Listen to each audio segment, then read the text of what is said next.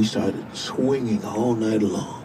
Benson and his Where band we, were playing Zuri? down the street from the Apollo Theater in Harlem when famed record producer John Hammond came to check them Where out. are we? As bandmate Dr. Lonnie Smith I don't know recalls. where we are. Well, there was some go-go dancers up there.